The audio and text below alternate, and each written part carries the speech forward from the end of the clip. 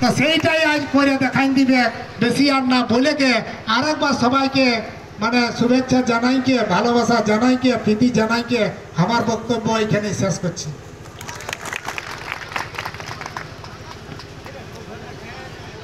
বক্তব্য রাখছেন শিবনারায়ণ মাহাতো। শিবনারায়ণ মাহাতো।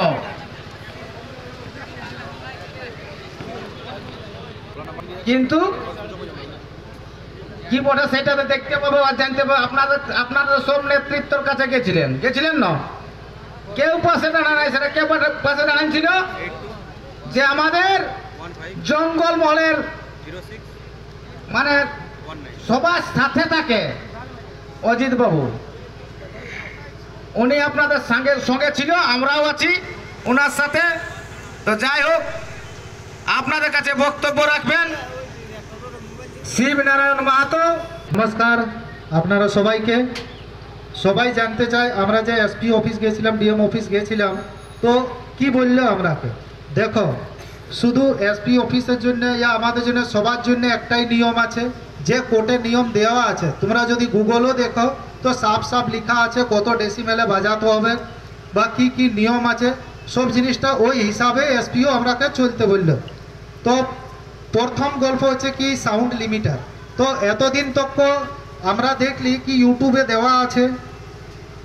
ইউটিউবে বলছে কি এই সাউন্ড লিমিটারে পঁয়ষট্টি ডেসিমেল বা আশি ডেসিমেলে মেশিনটা তোমরা লাগাবার পর ওর থেকে বেশি সাউন্ড গেলেই তোমাদের মেশিন ট্রিপ করে দেবে। যেমন একটা গাড়িতে হয় কি, আশি কিলোমিটারের স্পিড যাবে কিনে, তুমি কত এক্সেলেটার চালাও। এইবারে গল্প হচ্ছে কি স্যার বলল, বলে কি, কিছু দিনের মধ্যে স্যার আমরাকে সাউন্ড লিমিটার অ্যাভেলেবেল করাবে। তো সেই হিসাবে আমরাকে চলতে হবে। তা আমরা যে হিসাবে বুক ধরব, আমরা যথাই বাজাই যেমনভাবে বাজাও, জিসে মানুষের কোনো অসুবিধা হয় নাই। একটাই গল্প, কেন কি স্যার বলছে, তোমরা ভালো করে জানো কি তুমি কি কি মেশিন লাগাছো না লাগাছো তুমি ভালো করে জানো কি ভাই কোন জিনিসটাই মানুষটার অসুবিধা হচ্ছে? তো এইটা অপারেটারের উপর, সাউন্ড মালিকের উপর ডিপেন্ড করছে, কি তুমি কীভাবে চালাবে, কি জিসে যে গায়ের মধ্যে থাকবে বয়স্ক ইয়া যে বি থাকবে অসুস্থ লোক, তাদের কোনো অসুবিধা জিসে হয় নাই।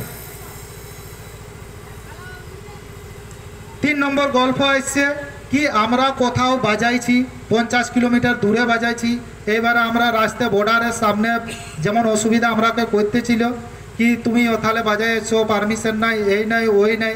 তো একটা আমাদের মনের মধ্যে গল্প আসছে ভাই, এই স্যারে কি করে জানলো কি আমার ওথা ভালোভাবে বাজাই আসছি? ইয়া ওথা আমরা ঝগড়া লাগিয়ে আসছি। যদি সেমনি কোনো অসুবিধা হয়, সেই জন্য আমরা অ্যাকশন লো তো সেইটা স্যার বলল কি, সেইটা আমরাকে আসো।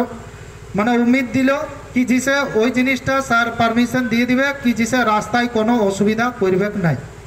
এ যে আর তার মধ্যে তোমরা বাজাই, যে একটা জিনিস ধ্যান দিবে, রোডে কেউ বাজায় যাতে পাবে নাই। ঠিক আছে? তো যে স্যার বলেছে সেই জিনিসটাই আপনারাকে বলছি, আমার দিক থেকে কোনো নিজস্ব গল্প নাই। এইবারে কেউ যদি গায়ের মধ্যে বিসর্জন ধরছ, তো প্রথমবার আমরা এতদিনলে জানি কি পুলিশ পারমিশন নিতে যায়, তো ডাইরেক্ট বলে কি এসডিও পারমিশন, ঠিক আছে? তো একটা নর্মালি গায়ের লোকের জন্য পসিবল নাই কি ডাইরেক্ট এসডিওর অফিস যাবে। এতগুলো লোক যদি এসডিও অফিস যায় বা এসপি অফিস যায়, তো এটা কি পসিবল আছে? পসিবল নাই। তার মধ্যে এবারে পুলিশ কিসে জানবে? যে আমি আগে বললাম কি আমরা আসতে বাজাইছি না রাগে বাজাইছি বা অসুবিধা করেছে, তার জন্য একটা গায়ের মধ্যে প্রধান হয়। এবারে যে কোথাও যে কাজ করবে, ঠিক আছে? যে কোথাও যে কাজ করবে, গায়ের মধ্যে একটা তো হ্যাঁ গায়ের মধ্যে মেম্বার মানে উত্তর দায়িত্ব মেম্বার যেমন প্রধান হয়ে গেল, যে একটা যে গোটা গাঁটার কন্ট্রোলে মানে যেসব করতে পারে কন্ট্রোল সেমনি একটা লোক তোমাকে দেখতে হবে যে মানে আইন হিসাবে মাননীয় লোক বটে।